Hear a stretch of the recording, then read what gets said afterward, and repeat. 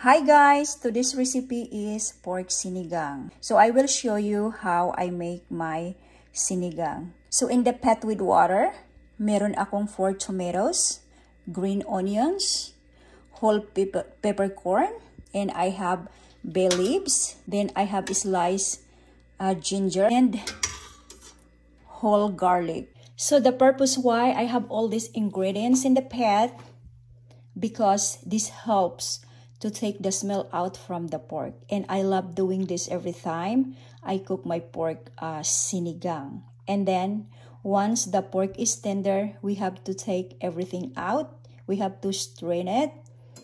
And we just have to use the uh, pork broth back into the pot. And the tomatoes, we have to put it separately to a uh, into a bowl and make it paste and put it back into the pot.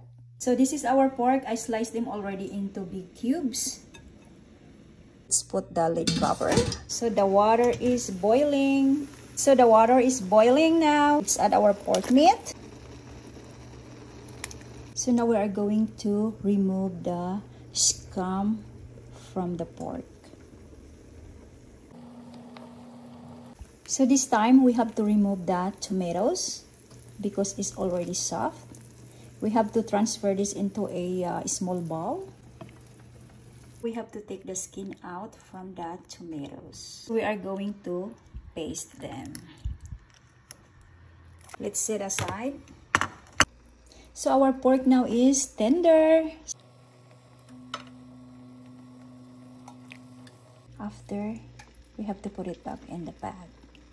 So ito na yung pork broth natin and nilagay ko na rin yung pork natin. And now we just have to simmer. So this time we have to add our gabi, which is the taro roots. So I slice them like this. We call this back home in Philippines, gabi. So i-add na natin yung sinigang mix natin.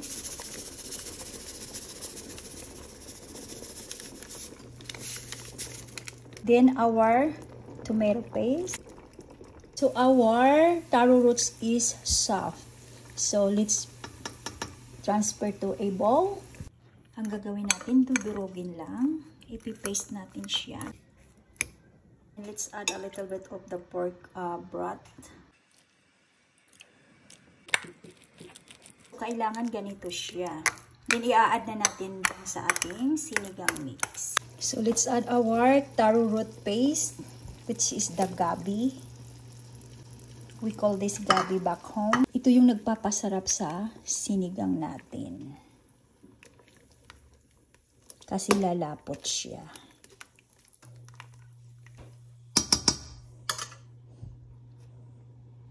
Now look at our sinigang. Let's add some salt. A tablespoon of patis. I love to add some of the cherry tomatoes. Let's add a little bit of like a teaspoon of the uh, uh, chicken bouillon, the powder one. Let's give a good mix. Let's add our sliced onions. Let's add our daikon radish. Our meat is very soft. So we just have to simmer about 5 minutes. Now let's add our green chili. I love this one because it's not spicy. And then our okra, I boiled them already. So this is cooked already. But if you don't like fresh okra with in your sinigang, sinigang, you can skip this one. But I love okra with my sinigang. This time I'm using spinach because I don't have kangkong. So let's give it a good mix. So don't worry about the uh, okra. This is cooked already. It's healthy. I love okra. So our pork sinigang is done. Look at that. So we just have to let it cool down and serve with rice, serve with white rice.